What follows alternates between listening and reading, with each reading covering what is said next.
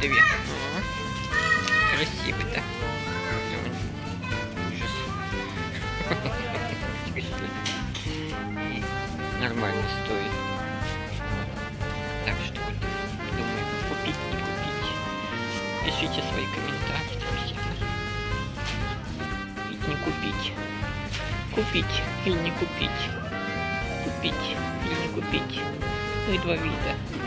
Ну вот. ну, Купить, не